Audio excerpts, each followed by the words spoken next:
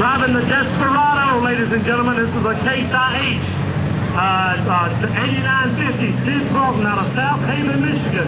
Now you're getting ready to see what about 5,000 horsepower will do for it. Let's see what's coming up.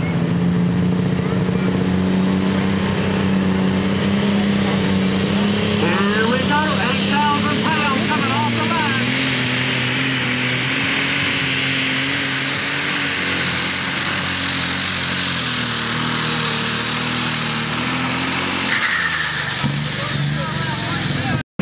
On me. It's bad. All right, let's see what he does. He's messing about his fifth pull this year. Ray Briggs out of Chapel Hill, North Carolina.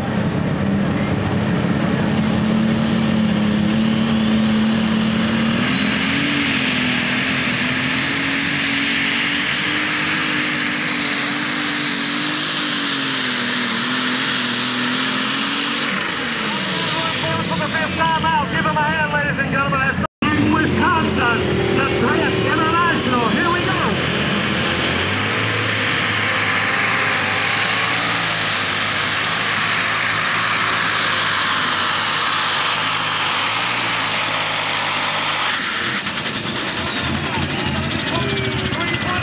Run to beat that. We got a green flag and a green flag. Right now we're waiting for Mr. Kevin Campbell out of Washington, PA on the Controlled Chaos. Let's see if he can do it two nights in a row. Here we go.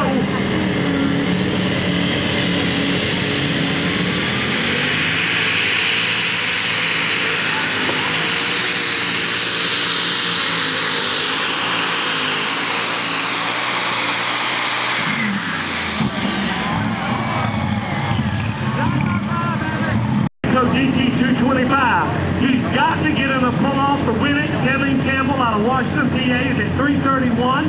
He's got to go past 320 to get there. All right, we got Jacob Owl here. We're going to be talking to him in just a moment. He jumped the fence last night. Now, we're going to see what he jumps tonight. And somebody said if he jumped the fence coming in second, what in the world would he do winning this thing? All right, here we go. Bringing those RPMs up. John Strickland out of Clinton, North Carolina.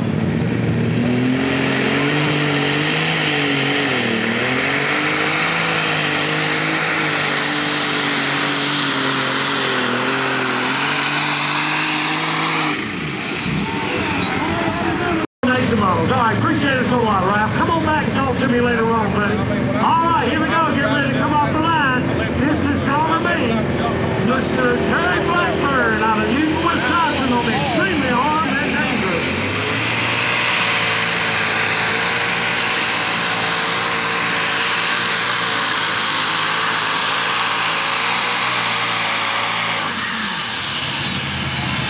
All right, go get a tight shape. I do see a green light on the slick. We got a green flag and a green flag, I do believe. Here we go. Coming off the line is going to be Marty Harrell out of Bridgesville on the Pure Country Massey Ferguson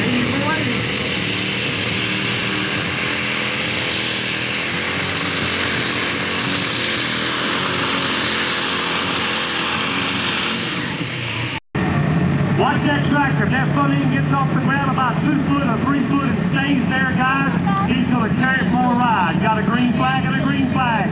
And I'm sure, guys, he's going to be trying to get all he can. Here we go.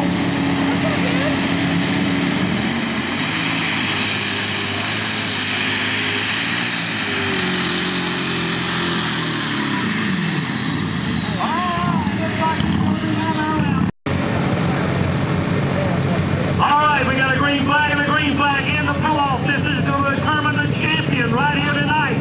This is John Strickland out of Clinton, North Carolina on the Galot 2 at DT 225.